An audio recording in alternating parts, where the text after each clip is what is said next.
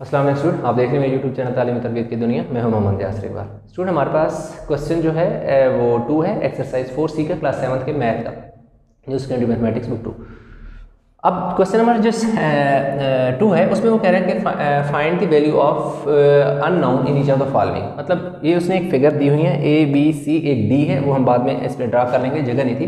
कह रहा है कि इसमें ना अननाउन वैल्यू फाइंड करें। जैसे इसमें ए फाइंड करना है, इसमें बी फाइंड करना है, और इसमें सी फाइंड करना है। ठीक हो गया?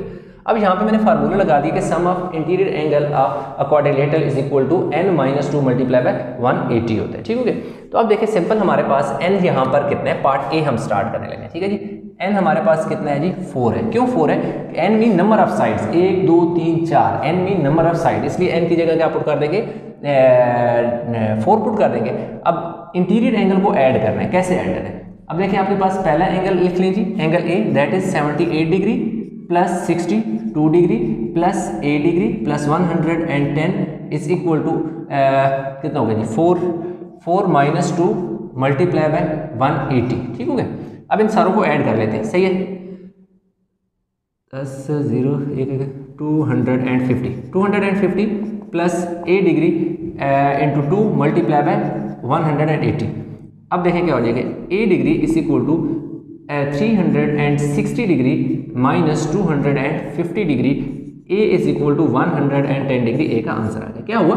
ये जो टू फिफ्टी इन तीनों वैल्यू को ऐड किया, इन तीनों वैल्यू को तो टू फिफ्टी बन गया।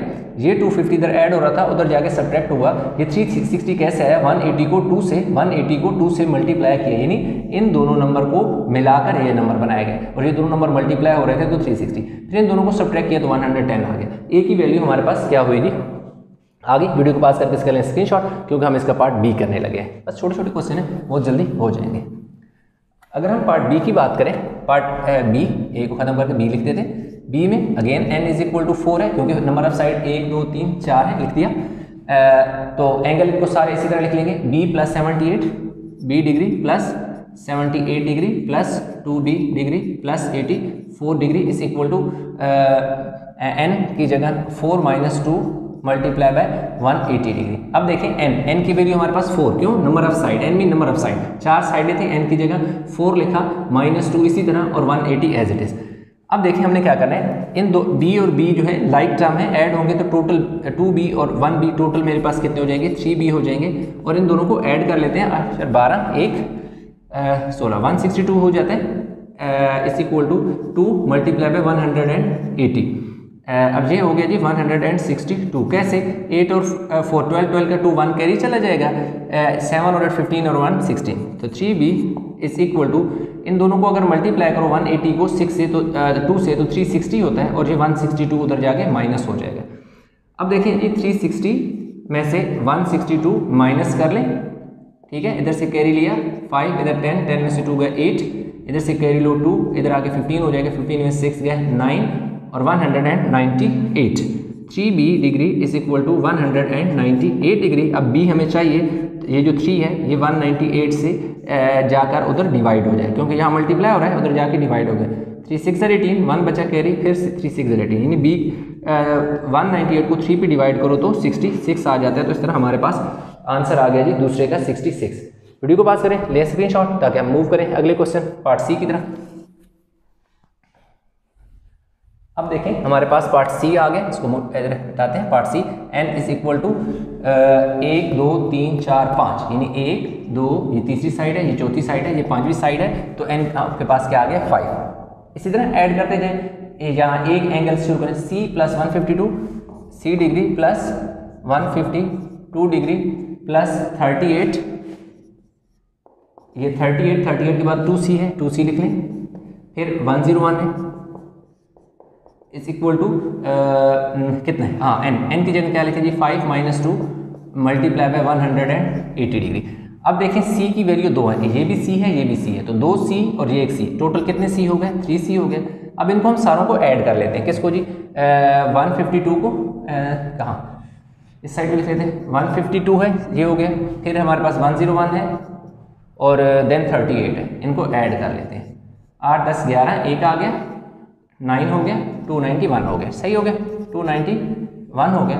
और यहाँ बचे जी फाइव में से टू गए थ्री बचा multiply by one hundred and eighty अब ये फाइव क्यों आया? फाइव इसलिए आ रहा है क्योंकि इस ये जो हमारे पास फिगर है, इसमें पाँच साइडें हैं। एक, दो, तीन, चार, पाँच साइडें अब ये हमारे पास ये three C degree plus two ninety one is equal to five hundred and forty यानी थ्री को वन एटी से मल्टीप्लाई का करो तो फाइव फोर्टी आता है। Three C degree is equal to five hundred and forty degree minus two ninety one two ninety one add हो रहा है, उधर जाके सब्रैक्ट हो गया। कर लें जी सब्ट्रैक्शन इधर।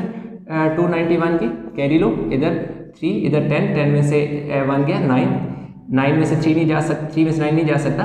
फोर नाइन में से थर्टीन में से फोर गए।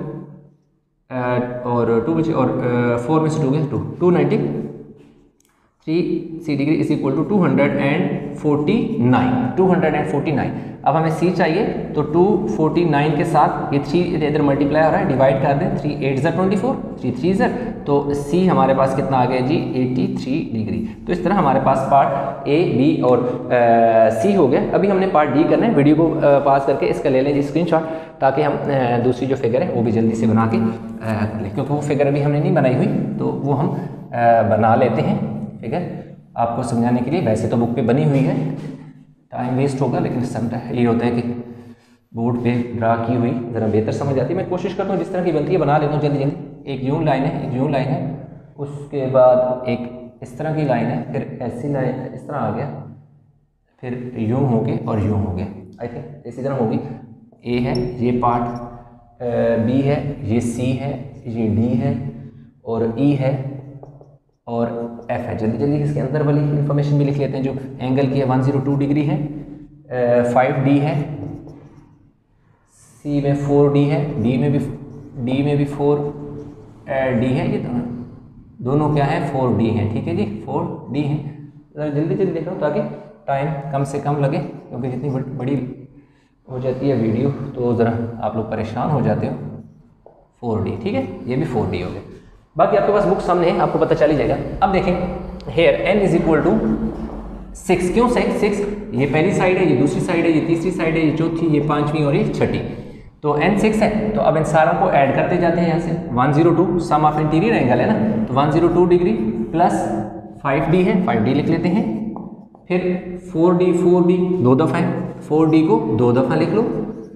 उसके बाद 108 है 108 लिख लिया और लास्ट में अगेन 4d है 4d लिख लिया। और अगेन n है, n की जगह हमारे पास क्या क्या है जी? सिक्स है पुट कर दें। Six minus two into one अब देखिए, आपके पास d की जो वैल्यू है ना, वो एक, दो, तीन, चार है। कौन सी? ये देखिए जी। एक ये वैल्यू है, एक ये है, एक ये है और एक ये है। इन चारों को आप ऐड कर सकते हैं। देखें ये चार चार, आठ, बारह और पाँच, सत्रह। तो डी कितने हो गए? सत्रह डी हो गए। पीछे बच जाते हैं जी टोटल दो एक ये वाला एंगल और एक ये वाला एंगल इन दोनों को ऐड कर लें।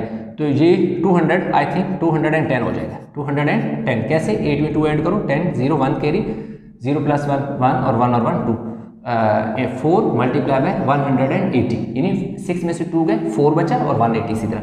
अब seventeen D plus two ten is equal to seven hundred and twenty कैसे? फोर ज़ीरो ज़र ज़ीरो फोर थ्री ज़र ट्वेल्व ट्वेल्व का टू फोर एट ज़र थर्टी टू थर्टी टू का टू लगा थ्री कैरी फोर वन ज़र four और three seven बाकी आप आराम से मल्टीप्लिकेशन कर लीजिएगा।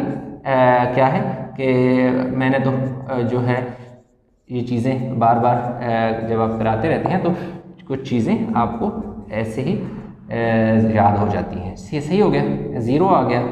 वन आ गया फाइव हंड्रेड एंड टेन कैसे? सेवन ट्वेंटी में से वन टू टेन निकाल zero one five five ten अब आपको कितना चाहिए जी? आपको चाहिए डी तो आपके पास uh, क्या है? सेवनटीन एक्स्ट्रा है। तो फाइव हंड्रेड टेन और नीचे क्या आ जाएगी जी? सेवनटीन तो सेवनटीन मल्टीप्लाई हो रहा था इधर आगे क्या हो गया जी? डिवाइड हो गया। तो सेवनटीन uh, क्या हो गया? थ्री ज़र फिफ्टी वन ज़ीरो ऊपर चला गया। तो D is equal to thirty आपके पास इसका uh, जो चौथा पार्ट है उसका आंसर आ गया। ठीक हो गया जी? तो यूँ हमारे पास जो है, हमने कोशिश की कम से कम टाइम में जो क्वेश्चन है, वो हम कंप्लीट कर लें। तो क्वेश्चन टू हमने कंप्लीट कर लिया। आई होप कि क्वेश्चन समझ आया होगा। इस क्वेश्चन में कहीं भी किसी जगह भी कोई कन्फ्यूज़न है तो कमेंट नीचे कमेंट में ज़रूर बताइएगा। वीडियो को लाइक करें शेयर करें चैनल को सब्सक्राइब नहीं किया तो चैनल ज़रूर सब्सक्राइब कर लें। इंशाल्लाह मिलते हैं नए लेक्चर के साथ। तब तक अपना बहुत सारा ख्याल रखिएगा। अल्लाह